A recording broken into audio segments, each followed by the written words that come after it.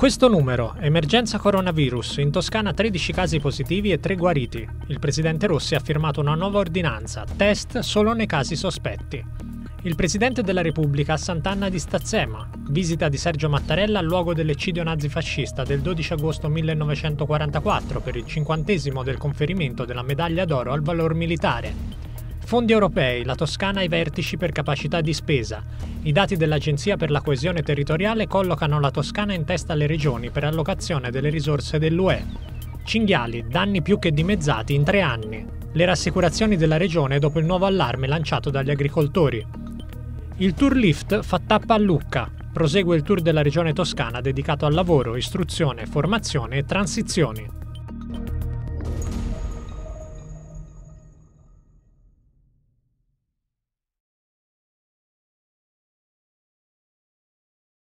Dall'inizio dell'emergenza coronavirus il bilancio in Toscana fa segnare 13 persone positive al tampone del Covid-19 ma anche 3 guarigioni. L'ultimo caso rilevato è quello di una donna di 42 anni di Pergine Valdarno nel comune di Laterina in isolamento domiciliare dopo l'esito positivo del test. Si tratta di una collega della 32enne risultata positiva al coronavirus dopo il rientro da Milano e ricoverata all'ospedale fiorentino di Ponte Anniccheri. Proprio quest'ultima insieme allo studente norvegese ricoverato nello stesso ospedale di Ponte Anniccheri e all'informatico di Pescia in osservazione all'ospedale ospedale di Pistoia è una dei tre pazienti giudicati al momento clinicamente guariti dai medici. Stabili nel complesso le condizioni degli altri pazienti positivi in Toscana, altri due a Firenze, uno ad Albiano Magra in provincia di Aulla, uno a Torre del Lago, tre nel Senese e due a Carrara. Cinque i casi di positività al tampone già validati dall'Istituto Superiore di Sanità e 944 le persone in isolamento domiciliare in tutta la regione, tra quelle entrate in contatto con quelle contagiate o di ritorno dalla Cina, dalla Lombardia o dal Veneto. Intanto il presidente della regione toscana Enrico Rossi ha firmato una nuova ordinanza che prevede il ricorso agli ospedali solo nei casi più gravi e il test diagnostico solo per i casi sospetti. Scuole aperte ma restano sospesi fino al 15 marzo i viaggi di istruzione e gli scambi negli istituti di ogni ordine e grado.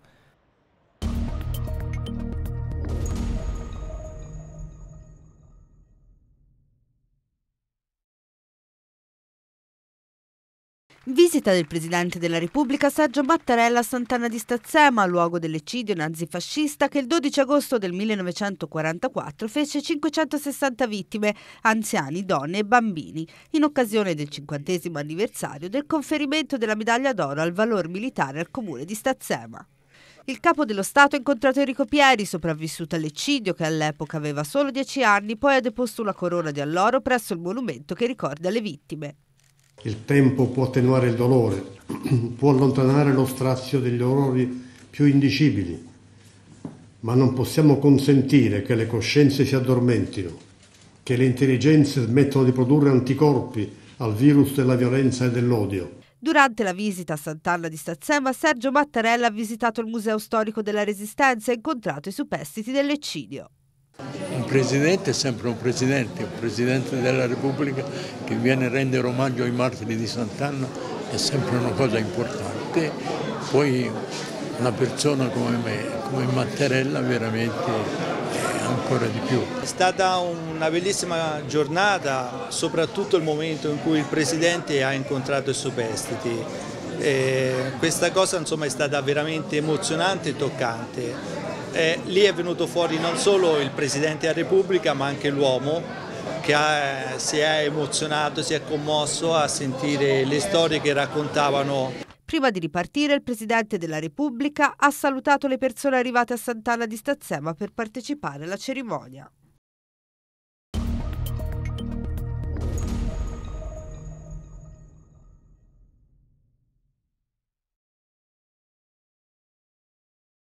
La Toscana è la regione del centro-nord che spende meglio i fondi europei, secondo i dati pubblicati dall'Agenzia per la coesione territoriale, un risultato che per l'assessore regionale alle attività produttive Stefano Ciuoffo dimostra il dinamismo del sistema imprenditoriale toscano da supportare, ha poi aggiunto, nella prossima fase di programmazione, dove le principali sfide sono la transizione al digitale e l'economia circolare. In particolare, il programma operativo regionale Porfesr 2014-2020 registra per l'asse 1 su ricerca, sviluppo e innovazione una percentuale di spesa certificata certificata del 67,3% sulla dotazione iniziale e del 63% per l'asse 3 su competitività delle piccole e medie imprese.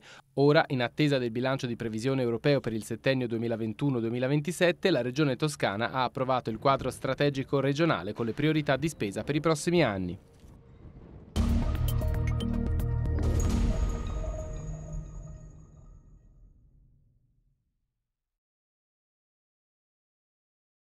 La popolazione di cinghiali in Toscana si è fortemente ridotta negli ultimi tre anni e ammonta a circa 160.000 esemplari su un totale di 400.000 ungulati.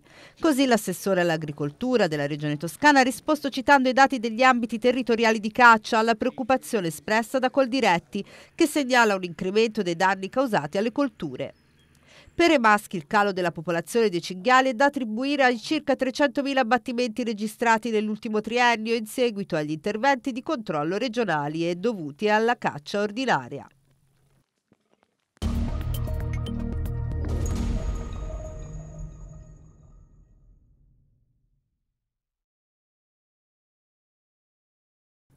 Decima tappa, questa volta a Lucca del Tour di Lift, lavoro, istruzione, formazione, transizioni, il sistema della regione toscana che ha puntato su una struttura formativa capace di dare più opportunità di accesso al mercato del lavoro, incontri per divulgare il piano di azione, gli obiettivi raggiunti, dare una panoramica di tutti gli strumenti messi in campo della regione e ascoltare i territori.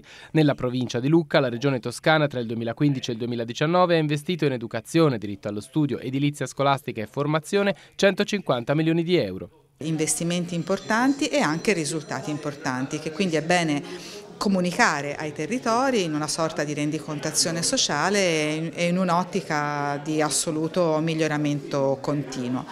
Risultati importanti anche sul piano integrato per l'occupazione e Lucca, la provincia di Lucca ha un tasso di disoccupazione del 7,3%, quindi in linea con il dato regionale, eh, migliorato rispetto al, eh, al pre-crisi. Al centro del tour lift anche il sistema regionale dei centri per l'impiego. In provincia di Lucca a trainare sono in particolare il comparto del cartario, della nautica e il turismo. È un'area che ha varie vocazioni, sicuramente turistiche, nella parte che sbocca sul, sul mare, basta pensare all'area di Pietrasanta, Viareggio, poi c'è un'area diciamo, più manifatturiera, in cui gli insediamenti dell'industria cartiaria, cartaria e, e ridosso invece della zona costiera sempre l'industria e le imprese che lavorano nel settore della, della nautica e, e quindi diciamo, è un'area un, che ha una vocazione mista, quindi turistica, industriale, con alcune importanti anche realtà nel settore agricolo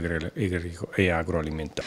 L'80% degli utenti a livello regionale si è detto soddisfatto dei servizi erogati dai centri per l'impiego toscani. I prossimi appuntamenti degli incontri LIFT si terranno a Piombino e a Livorno.